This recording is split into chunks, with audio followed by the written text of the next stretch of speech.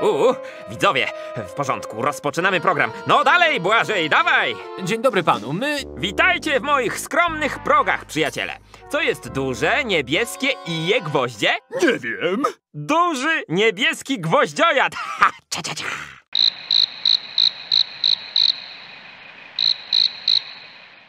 Świerszcze? Proszę pana, my poszukujemy księżniczki Bernice. No pewnie, młoda damo, potrzeba jej nowego agenta.